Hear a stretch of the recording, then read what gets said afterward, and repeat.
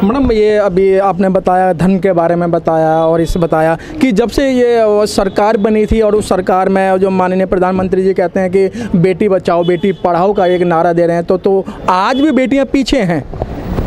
अ, सही है।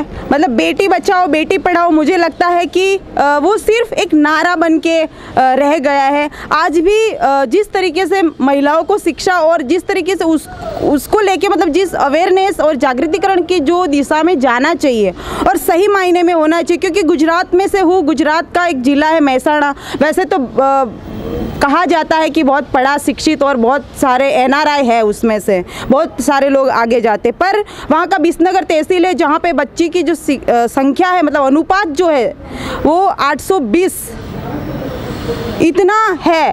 तो लोग बोलते हैं कि जब एजुकेशन आता है तो बच मतलब और ज़्यादा स्वतंत्रता मिलती है महिलाओं को। पर मुझे जहाँ तक लगता है कि मेरा मानना यह है कि जब एजुकेशन बढ़ता है तो लड़कियों की जो आज़ादी है, वो पीछे मतलब चली जाती है।